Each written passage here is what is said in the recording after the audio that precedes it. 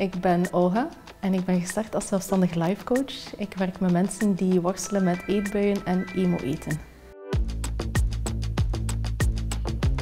Ik heb zelf jarenlang geworsteld met eetbuien en van het ene dieet in het andere gerold. En een paar jaar terug leerde ik dan life coaching kennen um, en dat was voor mij de oplossing die ik nu ook met anderen wil delen als zelfstandige.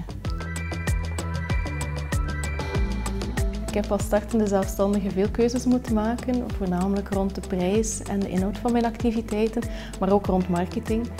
En daarvoor heb ik heel vaak overlegd met mijn familie en mijn vriend, maar ook met een andere life coach uit de sector. En die hebben mij uiteindelijk geholpen om al die knopen door te hakken. Ik ben nu zelfstandig in bijberoep om alle puntjes nog op de i te zetten en bij te scholen en alles georganiseerd te krijgen met mijn gezin. En dan is mijn doel om volgend jaar echt de sprong te wagen naar zelfstandig in hoofdberoep.